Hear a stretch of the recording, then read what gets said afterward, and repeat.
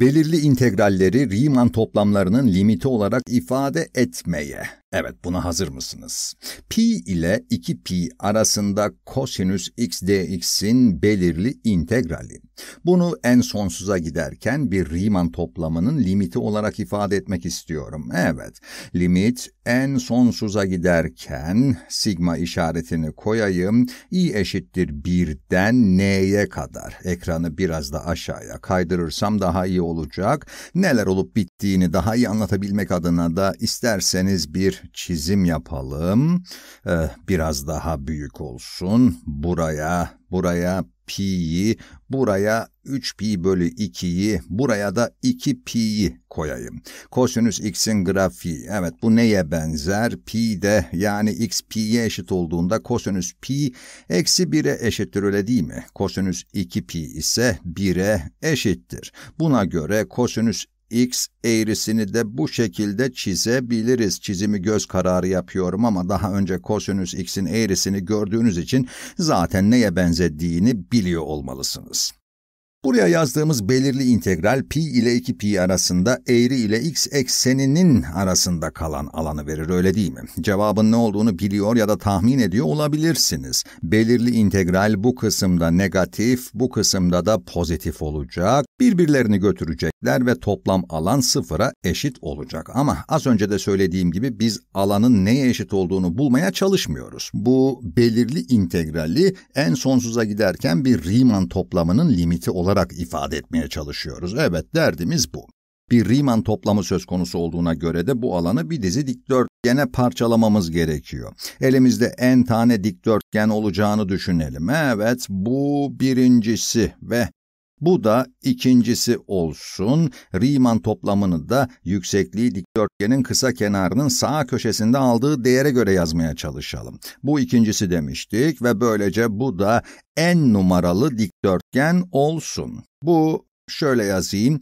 i eşittir 1 burada 2'ye, burada da burada da n'e eşit ve en sonsuza giderken limit aldığımızda bu dikdörtgenlerin alanları toplamı için çok daha doğru değerler elde etmeye başlayacağız. Bana bu dikdörtgenlerin kısa kenarının neye eşit olacağını söyleyebilir misiniz? Aralığımız pi ile 2pi arasında ve elimizde n tane dikdörtgen olduğuna göre dikdörtgenlerin kısa kenarlarından herhangi biri 2pi eksi pi yani integralin alt ve üst sınır değeri bölü n'ye yani pi bölü n'ye eşit olur. Evet dikdörtgenlerin kısa kenarı pi bölü n'ye eşittir. Peki ya yükseklikleri? Az önce bunun bir sağ Riemann toplamı olduğunu söylemiştim. Bu yüksekliğin dikdörtgenlerin kısa kenarlarının sağ köşesi ile belirleneceği anlamına gelir. Mesela bu dikdörtgenin yüksekliği ya da uzun kenarı nedir dersem, bu değer f pi artı dikdörtgenin kısa kenarına eşittir pi'den başladığımızda ve dikdörtgenlerin kısa kenarı da pi bölü n'e eşit olduğuna göre bunu f pi artı pi bölü n çarpı 1 olarak yazabilirim. Buradaki yükseklikten bahsediyorum. Peki ya bu?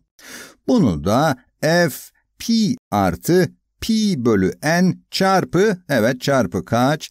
İki tane pi bölen olduğuna göre 2 olmalı değil mi? Pi bölü n çarpı 2. Bu dikdörtgenlerin yüksekliklerini daha genel bir ifadeyle yazabilmek için de mesela bu dikdörtgene geldiğimizi düşünelim. Pi ile başlamıştık. f pi artı sağ Riemann toplamı yaptığımız için pi'ye pi bölü n'den n tane eklememiz gerekiyor. Yazıyorum. pi bölü n çarpı n. Az önce de söylediğim gibi genel bir ifade için elimizdeki dikdörtgenin i numaralı dikdörtgen olduğunu düşünelim. Hepsini topladığımıza göre yüksekliği kosinüs pi artı pi bölü n çarpı i olarak yazabiliriz. Dikdörtgenin yüksekliği bu. Peki ya kısa kenar? Az önce bulmuştuk öyle değil mi? Pi bölü n'di.